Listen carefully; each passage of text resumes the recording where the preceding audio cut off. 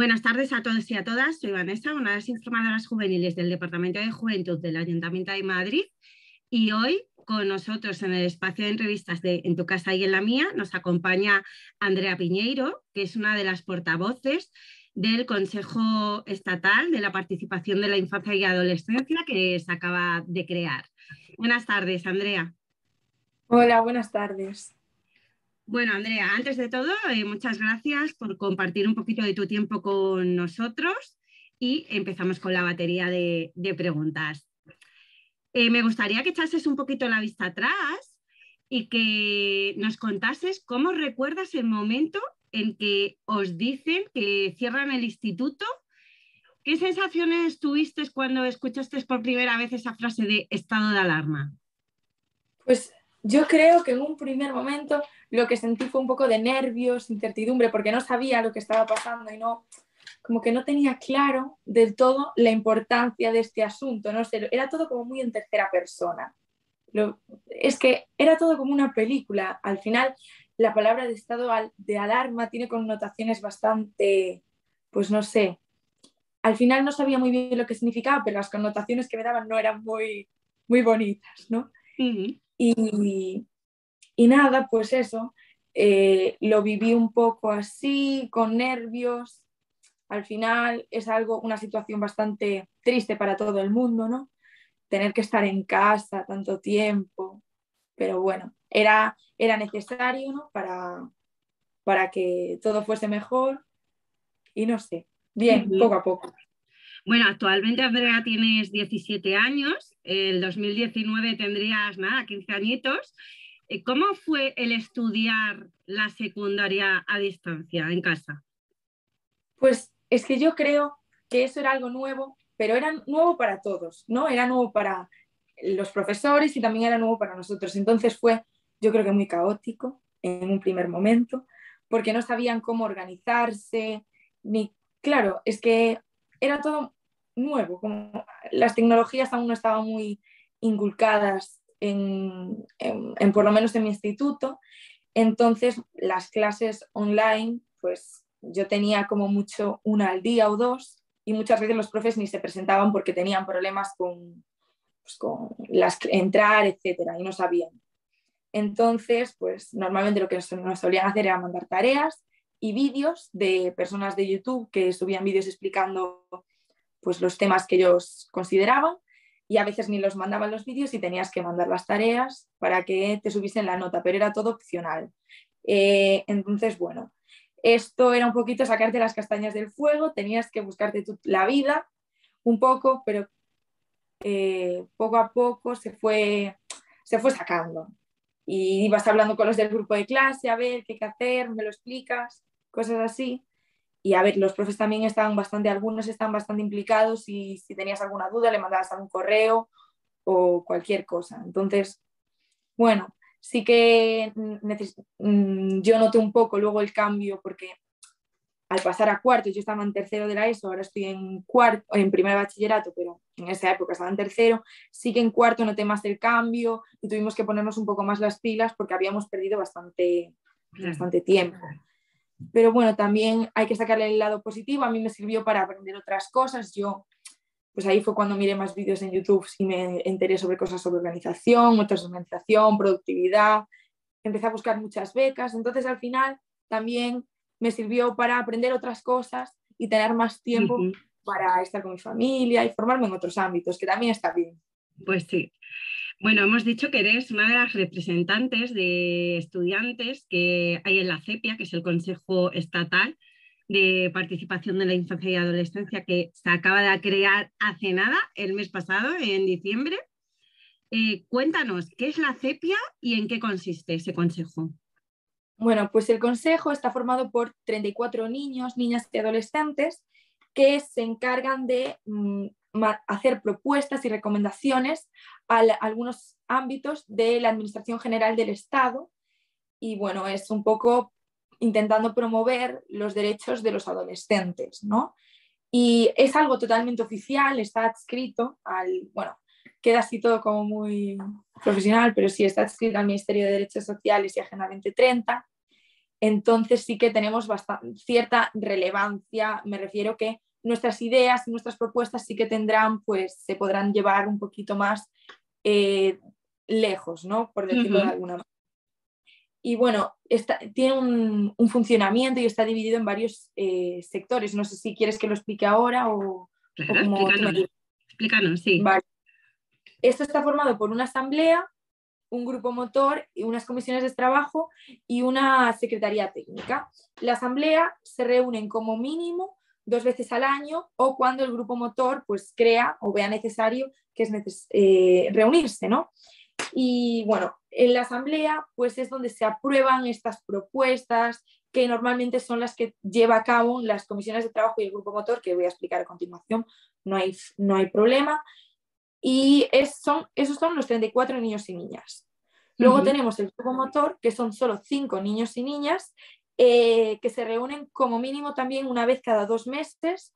Se tienen que reunir de manera más frecuente porque se encargan de desarrollar planes de trabajo, eh, coordinar todas estas acciones y proyectos que, bueno, que requerimos los adolescentes. Eh, después hacer propuestas y recomendaciones y representar un poquito más a un nivel un poco más alto a CEPIA, que bueno, es así como lo denominaron. Y después tenemos las comisiones de trabajo, que son como acciones concretas eh, encargadas por el grupo motor y la asamblea. Es decir, os voy a poner un ejemplo porque es más fácil. Si yo y dos amigos míos del consejo nos gusta mucho el tema del medio ambiente y queremos que se lleve más a nivel que los jóvenes tengan más formación pues, sobre el medio ambiente. Y me gusta mucho ese tema. Pues yo propongo crear esta comisión de trabajo con, con mis dos compañeros y eh, pues hacer más proyectos eh, eh, de manera individual. Pues hablamos con el grupo motor, el grupo motor lo aprueba y nosotros trabajamos y mandamos los informes y todo al grupo motor y el grupo motor lo va aprobando o, o bueno, denegando y intentando remodelar estas cosas, ¿no? Las cosas que están mal.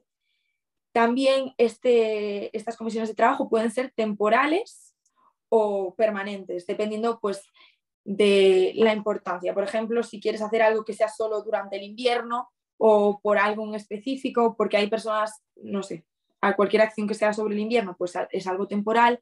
Y si tú quieres que el medio ambiente sea, que adquiera más importancia y sea de manera permanente, pues lo pones de manera permanente. Esto todo es hablarlo en la asamblea, dado que tienen que rendir cuentas a la asamblea también, porque al final somos los 34 niños y niñas.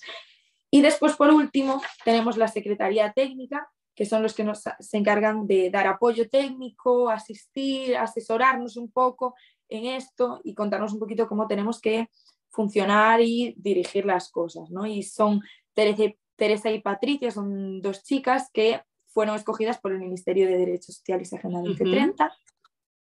Y pues básicamente es eso. Y después también quiero decir que tenemos un reglamento interno entre de cómo vamos a funcionar, pero aún no está escrito. Es decir, este reglamento interno lo hacemos nosotros y lo escribimos nosotros.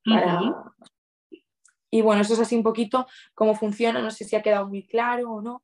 Sí, bueno, eh, tenemos que decir que no lleva ni un mes en marcha este, este proyecto, esta CEPIA, y que los 34 niños y adolescentes que estáis dentro sois de distintas comunidades, por lo tanto, el trabajo de consenso que tenéis es duro y, largo, porque, claro, eh, las necesidades que puede tener un chaval de una ciudad grande como Madrid o Barcelona o Bilbao es, va, va a ser muy diferente a esas necesidades que puede tener un joven, pues yo que sé, de de la Ribera de Castelló, por ejemplo. Sí, es que, bueno, eh, las personas, hay, es que cuando entras en el consejo te das cuenta de que hay personas super, que representan cosas o que forman parte de cosas súper interesantes, entonces sí que hay muchísima variedad y, está súper bien eso. Y también hay personas que representan territorios, por ejemplo, eh, pues Teo, no bueno, Teo es un concello de aquí de Santiago y pues representan Teo, hay otros que están por Extremadura también, que representan a su, a su club de información, bueno, a la información juvenil de, o a su casa de música de, de, su comunidad. Y está también súper bien. Y ¿cuál es tu función dentro de la CEPIA? Como has dicho antes, es algo totalmente nuevo, entonces aún estamos en proceso de creación, aún no hemos eh, establecido las funciones que va a hacer cada uno. Es decir, eh, mm, hemos tenido ya la inauguración con Ione Belarra, que es la ministra, mm, y pues nos han dicho un poquito cómo va a ser, cómo va a funcionar, y nos dejaron como estas vacaciones para estar un poco más tranquilos, relajarnos, y en enero ya empezar eh, un poco, ya nos van a mandar un correo para empezar a distribuirnos, a crear el reglamento, etcétera. Y a ver cómo se va a gestionar todo, porque con el coronavirus pues no es lo mismo, porque ellos quieren que las reuniones sean presenciales y conocernos entre todos, pero eso depende de la situación, o sea, vamos a tener reuniones eh, online, otras presenciales, de hecho la inauguración fue semipresencial, las personas que vivían por Madrid sí que fueron, asistieron pues al ministerio y las personas que éramos de fuera, yo soy de Galicia, me quedé un poco lejos, pues estuve eh, online y muy bien. Bueno, pero bueno, eso sí, perdón. Lo que, sí que está claro, lo que sí que está claro es que vamos a representar a los estudiantes, bueno, yo en mi caso a los estudiantes, pero representar a los adolescentes en todo, en siempre. Eh, por ejemplo, em, pues algunos eh, se encargarán de representar a su comunidad y otros a otras, pero independientemente del cargo que tengas, pues vas a tener que representar a, los, a, nuestra, a nuestro ámbito, ¿no? Eh, y bueno, eso es un poquito lo que quería decir. Bueno, eh, Andrea ha abierto una cuenta de, Instagram para su labor dentro de la CEPIA. Cuéntanos, ¿qué objetivos tienes con esta cuenta de Instagram que has abierto? Bueno, pues mi objetivo básicamente es representar pues, a estos estudiantes lo mejor que pueda.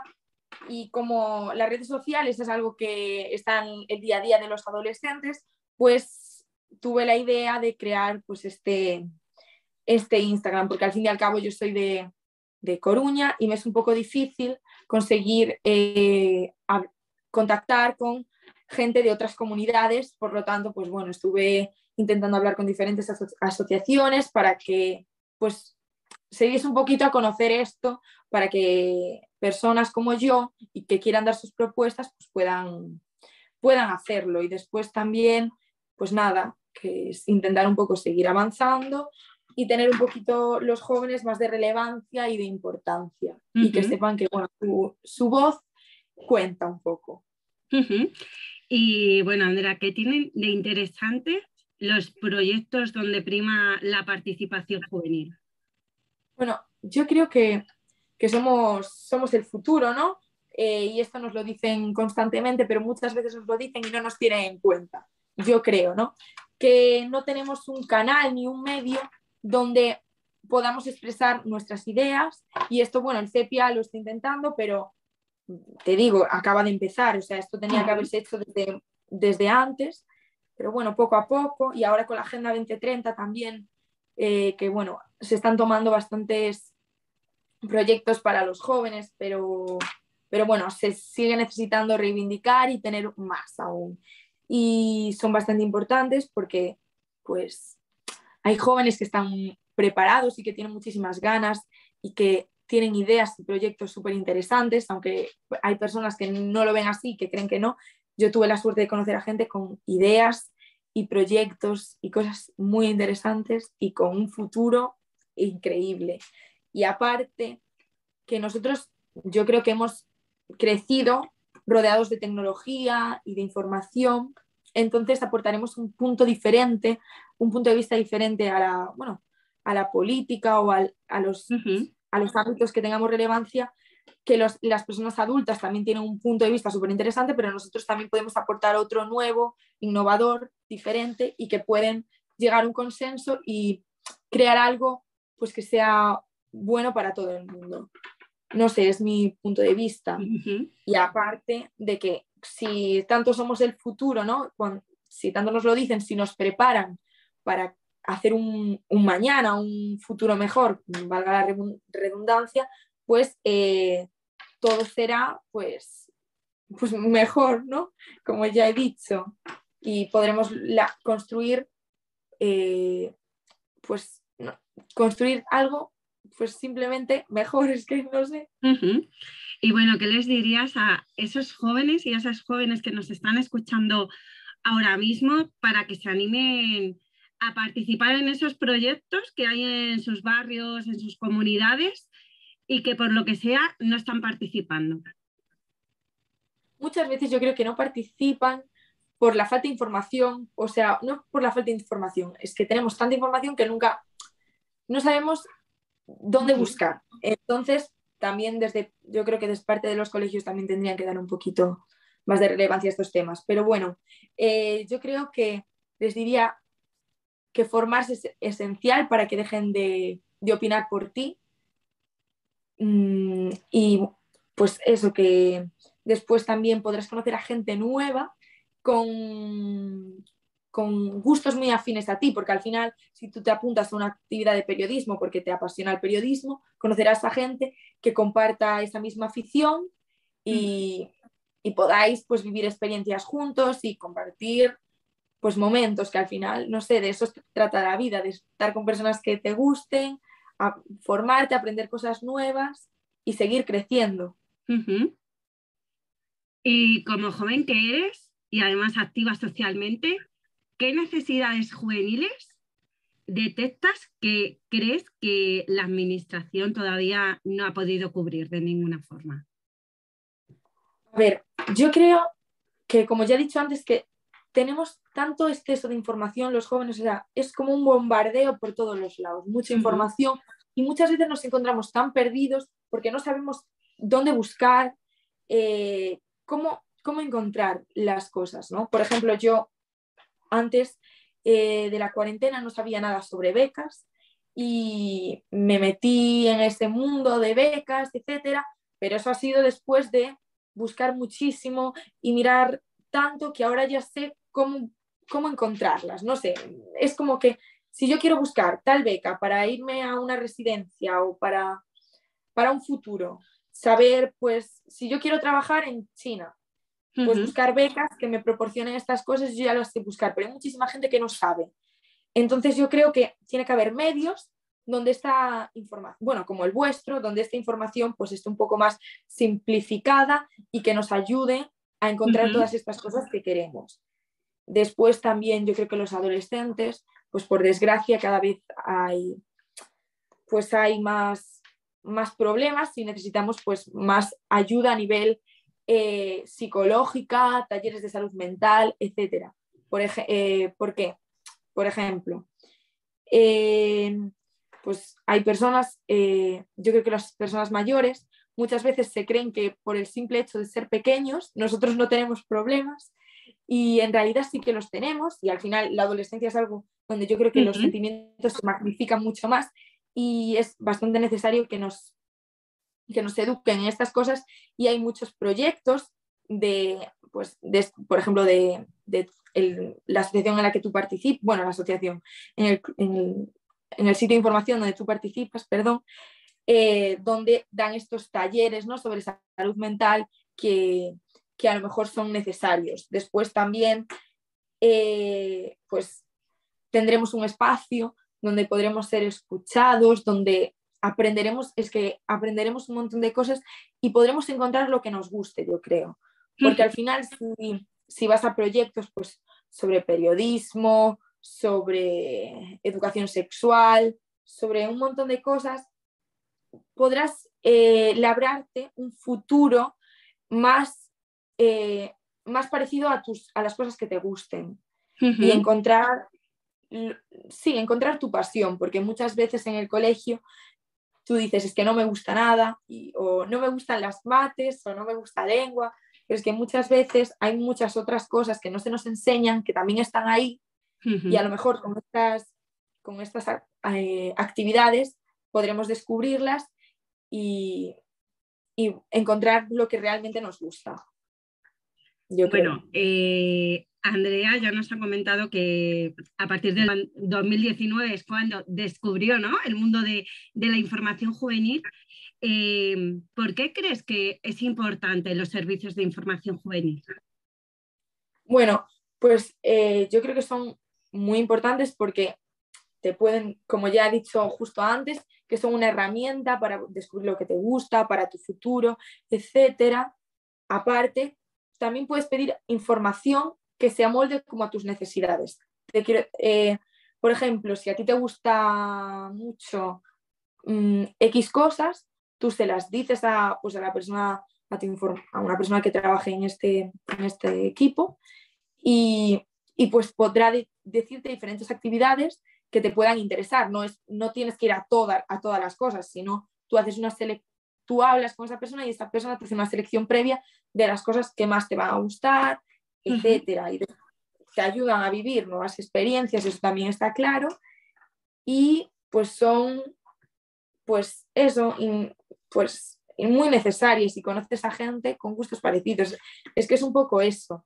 Y después también eh, sí que estoy bastante metida y de hecho yo creé eh, un club de información juvenil en mi instituto también, que también así represento al CEPI a través de ese club y, ayudo a la gente pues, a informarles sobre voluntariados, actividades y cosas así para que, les pueda ser de interés, porque Jova, a quien no le gusta, a quien no le, le gustaría saber que hay un voluntariado con la Unión Europea, con el Cuerpo de Solidaridad Europeo, para irte un año a Francia a pues, ayudar a personas eh, con problemas auditivos, por ejemplo. y te sirven tanto para ti porque tú también aprendes un montón y también ayudas a los demás y pues aportas ese granito de arena ¿no? que es tan, tan necesario.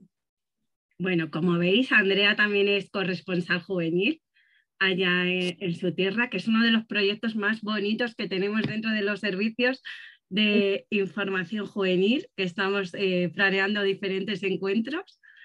Y bueno, yo a todos los chavales que nos estéis escuchando, os animo a que preguntéis a vuestro servicio de información juvenil por el proyecto de corresponsales juveniles, porque no sabéis lo que os estáis perdiendo. Y ahí lo dejo. Eh, bueno, para terminar, cuéntanos, Andrea, ¿dónde pueden contactarte todos aquellos estudiantes que quieran proponer algo? Bueno, pues a través de mi Instagram, que es representación de los estudiantes, se llama así, eh, podéis escribirme y yo estoy encantada eh, de ayudaros y de asesoraros o que me deis propuestas o lo que sea. Después también tengo un email, ¿no? que también está en la biografía del Instagram, eh, la tenéis ahí, el email, que también, pues si preferís ese medio, pues, está ahí abierto, es un frente abierto que podéis utilizar. Y si os gusta más WhatsApp o algo así, también me podéis inscribir por Instagram y yo os doy mi número sin problema si os gusta más ese medio, también, no hay problema. Yo estoy abierta a todo. Bueno, pues hasta aquí nuestra entrevista con Andrea. Ya sabéis que si queréis proponer cosas, eh, ahora es el momento, ya que existe este proyecto, escribirla y vuestra voz será escuchada. Eh, nos vemos eh, las próximas veces aquí en nuestro encuentro de entrevistas de En tu casa y en la mía. Y Andrea, eh, muchas gracias por esta entrevista. Ha sido un placer y bueno, estoy segura que nos vamos a ir viendo ya que eres corresponsal juvenil. Gracias a vosotros, Jova. Hasta luego.